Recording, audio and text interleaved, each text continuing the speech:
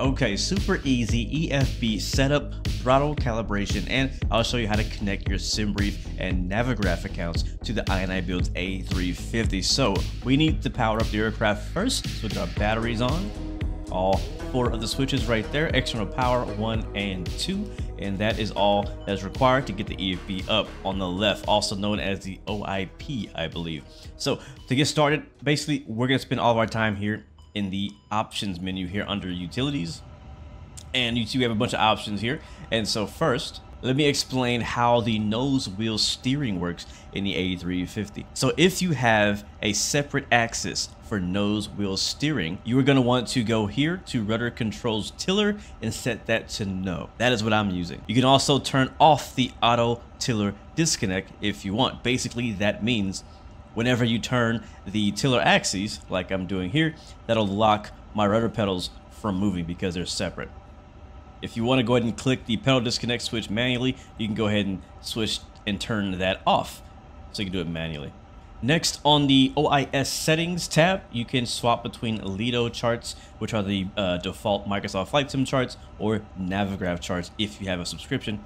And I'll show you how to connect that here in a second. You also have your aircraft weight in units, Next, we'll jump to throttle calibration, and this is where you can calibrate your throttle. If your reverser is on the same axis as your throttle, then you can hit yes here. I'm using the TCA Airbus throttle, and I just have my global dead zone set to no. And then here on the right side, it's really super easy. Basically, you put your throttle in the position you want it. So max reverse currently, and I click on max reverse.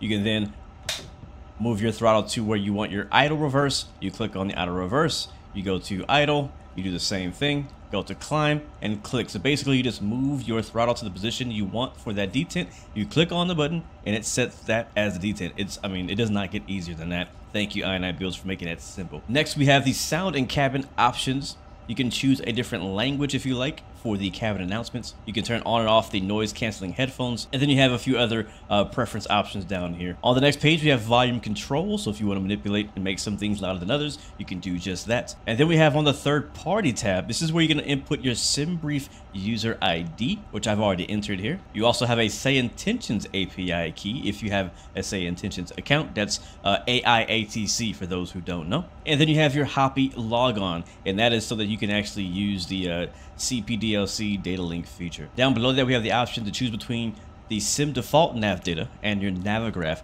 data. And obviously right here if you want to connect your navigraph account you can either take a picture of this qr code or type in this url right here. And that'll lead you to some instructions on how to connect your account. It's super easy you can basically do it in like three clicks. And once you've done that, your aircraft is completely connected to SimBrief. You can start importing your flight plans uh, from your SimBrief profile, and you can start using charts from Navigraph. To access those charts here in EFB, it's actually down here at Terminal Chart. You can click on that. I'm currently at Doha. I can click on OTHH and then click on a airport. It might take a few seconds for it to load in. There it is.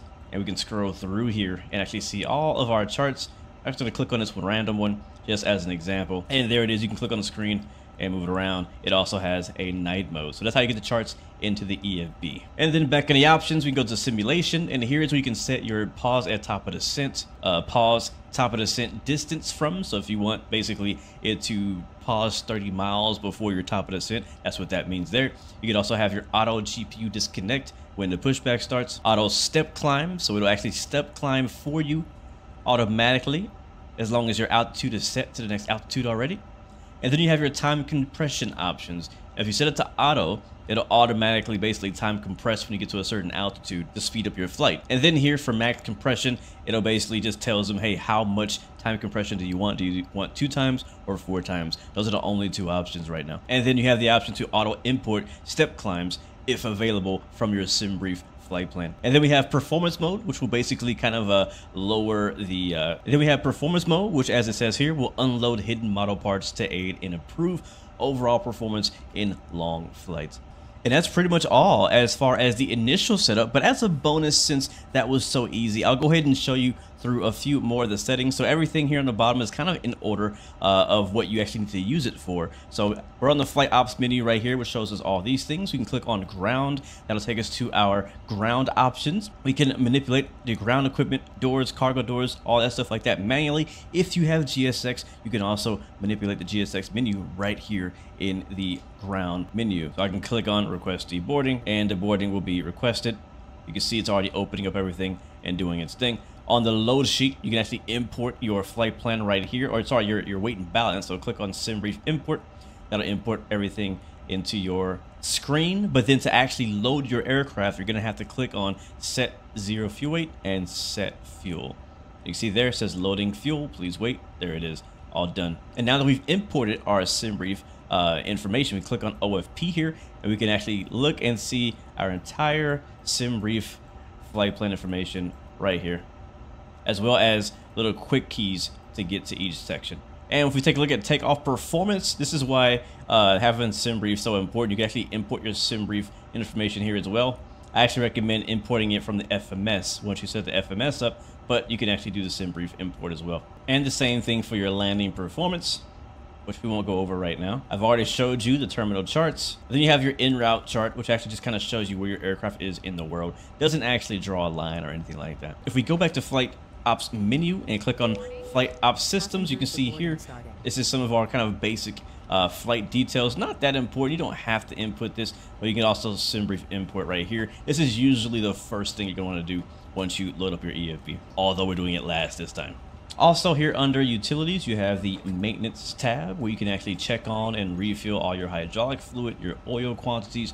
You can repair and replace your batteries replace your brakes service your APU there's also situations. You can click on that and uh, you can actually uh, play through various situations as far as depressurization, bird strikes, dual engine failure, GPS jamming, and then you have your, your typical failures. You can fail basically any system on the aircraft. And then lastly, we have panel states, so you can actually jump to a cold and dark state on ground with power with the APU running or straight to ready for takeoff for those who want that. But that's it. I think the EFB is actually very uh, well organized and fairly user friendly. But this video is made just in case you have any issues or questions about anything. But hopefully this video was helpful for you in some way and thank you so much for watching. If you have any other questions, I do have a few other tutorials on the A350. And until next time, remember you have three choices, give up, give in, or give it all. You got peace, love, and God bless you. I will see you guys next time, next video. Thank you.